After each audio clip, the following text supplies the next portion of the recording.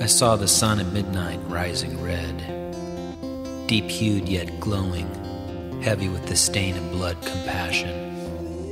And I saw it gain swiftly in size and growing till it spread over the stars. The heavens bowed their head as from its heart slow dripped a crimson rain. Then a great tremor shook it as of pain. The night fell moaning as it hung there dead. O Sun, O Christ, O bleeding heart of flame, Thou givest thine agony as our life's worth, and makest it infinite, lest we have dearth of rights wherewith to call upon thy name. Thou pawnest heaven as a pledge for earth, and for our glory sufferest all shame.